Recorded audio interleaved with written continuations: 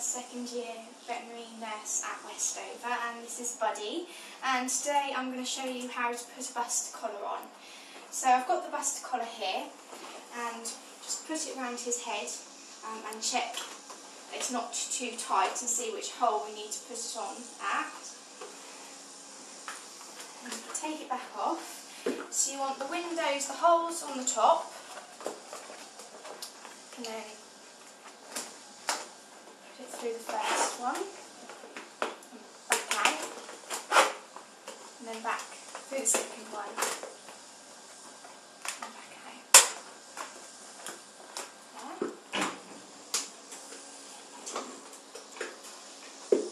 just get his collar here. It's always best to have a collar on because then they can't pull it back off the top of their head.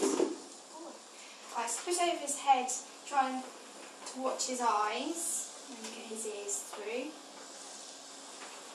Good boy. And you can do this collar up. Like so. So it's just a couple of centimetres past his nose. Um, you always want this on whenever you're not with them. For feeding and for walking you can take it off. Um, and that's how to fit a buster collar.